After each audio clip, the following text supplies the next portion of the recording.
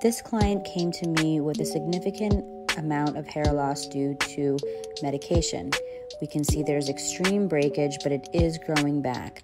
There is breakage around the top of the hairline, in the back. So, being a sew in extension client is not going to be ideal for her. So, what we decided was to do a full topper to give her all of the things on her checklist full, bright, chemical alternative, completely undetectable, and now she has the hair that she's been dreaming of. This is a topper.